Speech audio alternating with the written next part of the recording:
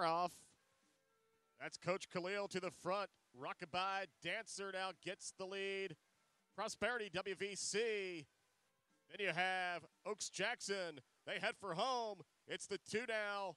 Rockabye Dancer getting clear. Rockabye Dancer's going to win it. Looks like Coach Khalil held for second. It's very tight, though, for the place and show.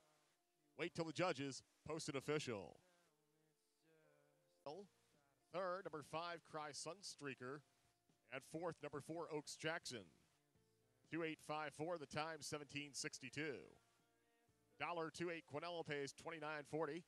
Dollar trifecta, $444.60.